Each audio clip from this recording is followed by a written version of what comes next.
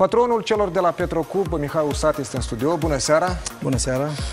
Ați terminat deja campionatul pe un loc onorabil 6. Aveți șansă să ajungeți și în finala uh, Cupei uh, Moldovei. Uh, sunteți mulțumit de rezultat? Cu siguranță sunteți mulțumit de rezultat. Da, foarte sunt mulțumit pentru rezultatul și pentru locul care a obținut echipa din Hâncești. Chiar sunt mândru, fiindcă Petrocubul nu e numai echipă, dar e o familie. Și familia Petrocub astăzi a demonstrat atât lumea fotbalistică, că noi jucăm fotbal, ne opunem la fiecare echipă. Anul ăsta am avut noroc să luăm puncte de la toate echipele din campionatul Republicii Moldova. Și locul care suntem noi, ne-am spus că noi suntem confortabili pe locul 6. Asta a fost primăvara și așa am ajuns în vară. Uh, care e atmosfera înaintea partidei de mâine cu, cu Șerif? Tot, toți jucătorii sunt apți? Uh, echipa este pregătită, toți jucătorii sunt apți. Uh, noi foarte mult stimăm șeriful, dar asta înseamnă, nu înseamnă că noi ne temem. Mâine va fi o luptă, luptă cinstită. Eu cred că șansele totdeauna sunt că cupa asta este un meci special, dintr-un meci, retrăiesc ei, retrăiesc, retrăim noi. De la 7, 8 seara vom afla rezultatul mâine. În ce stare e gazonul? Pentru că au dat ploile peste noi. Gazonul este în stare bună chiar foarte bun. O să vedeți mâine, că mâine va fi transmis pe Moldova Fotbal. Meciul. E, am fost așteptați lumea la, la, la Hâncer să vină la stadion. Din ultimele meciuri am fost uh, chiar surprins că am avut uh, stadionul plin. Am avut peste 1200-1500 de spectatori. Pentru Hâncești asta este o cifră bună. Uh, suporterii susțin echipa. În Hâncești le place fotbalul. asta. La șerif evoluează nepotul dumneavoastră, Vladimir Ambros. Va fi uh, cu gust amar pentru dumneavoastră dacă uh, veți, îl veți învinge șeriful? De ce? Nu. Eu cred că nu l-am mărăs pe Vladimir, fiindcă uh, mâine el n-a evoluat contra noastră, fiindcă este la șerif, el este pe împrumut. Și am convins că el nu trebuie să participe la meci contra noastră, la cupă. Eh, noi foarte ne dorim să câștigăm, să luăm, să învingem șeriful, să fim în finală, că eh, povestea asta noastră poate să continue și noi avem șanse mari să participăm la cupele, la cupele europene și cred că suntem și pregătiți pentru asta. Da, cu siguranță e un sezon bun pentru Petrocub, locul 6 de 11 echipe, dar să ne aducem aminte de stagiunea trecută, când ați avut mai multe plângeri față de arbitraj. S-a mai schimbat lucrurile? Uh, cum, cum ați stat uh, la capitolul arbitraj în actuala stagiune? Toți se dezvoltă spre bine. Uh, astăzi pot să confirm că arbitrajurile sunt îmbunătățit. Mai sunt replici, măcar că în timpul sezonului, minimum 3-4 arbitri au fost descalificați care au arbitrat meciurile cu Petrocubu. Eu cred că anul viitor va fi încă și mai bun. Eu cred că federația este pe cale dreaptă. Dar mai este de lucrat. Mai este de lucrat.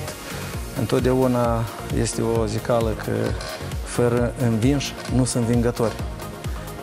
Eu întotdeauna m-am adresat la cluburi mari, să stimeze echipele mici, că dacă dispar echipele mici, ei nu pot să facă campionatul între patru echipe în față, care sunt azi. Azi sunt patru sau patru echipe, să zicem, stimez și Zimbru, dar Zimbru anul ăsta nu s-a opus așa cum trebuie, dar patru echipe care se luptă pentru titlu și chiar se luptă până în ultima zi, dar echipele mici, ele tot trebuiesc și ne place că anul ăsta am început, început să ne stimeze, să se pregătească, fiindcă Petrocub nu a fost echipă de trecere așa un simplu. Ca să iei puncte la Hâncești și chiar în deplasare cu Petrocubul, trebuie să asuți, trebuie să te pregătești, trebuie să fii gata, trebuie să învingi. Nu simplu cineva, nu, nu că dăm noi nimica. Da, ați mers uh, bine tot campionatul, dar pe final a surprins achiziționarea 5 cameronezi. Au adus un plus echipe sau mai au nevoie de acomodare? Știți cum, ne-a fost bine, dar vrem să facem o experiență, să încercăm, să facem o încercare. Încă nu suntem, nu-i clar și iese din asta, dar sperăm, sperăm că jucători veniți a să ne ajute. Vrem să... Fotbalul este o, o cale mai lungă și noi suntem la început de cale. Acum să vedem experiența asta și ne da. Ne da plus sau ne da minus. Da, cu siguranță toate gândurile sunt îndreptate spre meciul de mâine contra șerifului, dar probabil deja luați în calcul și stagiunea următoare, pentru că va fi un sezon de tranziție. Trecem la un nou sistem, primăvară, uh, toamnă. Uh, cum, vi, cum vi se pare și ce gânduri aveți pentru sezonul viitor? Eu am fost pentru ca să petreacă uh, an fotbalistic primăvara-toamna, fiindcă geografic și temperaturile și ploi și ninsori în februarie și în decembrie, cum a fost campionatul 2016-17, ne-a arătat că e foarte greu să, și în primul rând, distrugem bazele sportive, terenurile. Chiar noi am suferit foarte mult în Ceștiu, noi am avut două meciuri pe ploi, pe, ză, pe zăpadă, terenurile nu țin și eu cred că va fi, numai din punctul ăsta de vedere, va fi cu mult mai confortabil. Da? Fiindcă să jucăm în iunie, să avem meciuri în iunie, în iunie întotdeauna sara este mai răcoare și eu cred că eu cred că asta, din, din, din asta îți beneficiază fotbalul moldovenesc. În primul rând, echipele care participă în cupe, a să fie pauza foarte scurtă, ei a să fie tăți cu meciuri, Eh, fotbaliștii și mai pregătiți, eu cred că cu mult mai ușor va fi, că întotdeauna tăți duc în concediu, echipele care participă în cupile încep pregătirea cu o lună mai înainte, nu sunt chiar gata, foarte greu.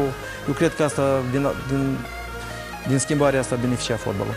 Da, și cu siguranță acest sezon se va prelungi, probabil se va prelungi cu încă un meci, totul spre asta merge. Din nou un meci de aur dintre uh, Dacia și Sheriff. Pe mâna cui mergeți?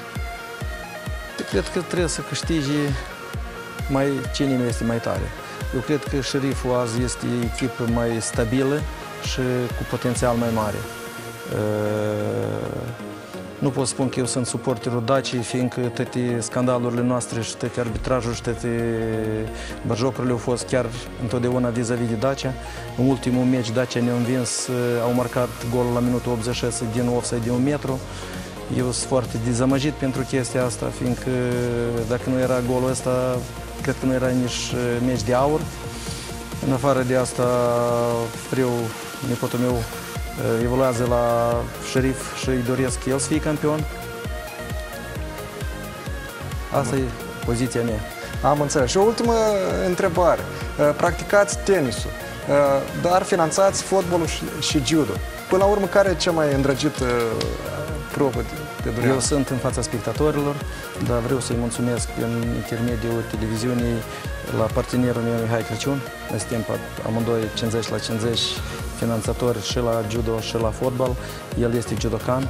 Fiul lui este campion, campionul european la sambo de tineret până la 21 de ani. Discipolul nostru, Duminică Valeriu, a fost la Olimpiadă, acum și-a participat la cotă Uh, astăzi Dorin Gosunog arată foarte bune rezultate internaționale în uh, greutatea de 81 de kilograme. Așa că finanțăm fotbalul, fiindcă fiecare om trebuie să facă o binefacere. Așa scrie și în Biblie, că omul trebuie să dea 10% din profiturile. Noi dăm în clubul sportiv al nostru. Nu finanțez tenisul, fiindcă în tenis am venit eu singur. Asta e o pasiune și hobby a meu personal. Fotbalul îmi place mai tare.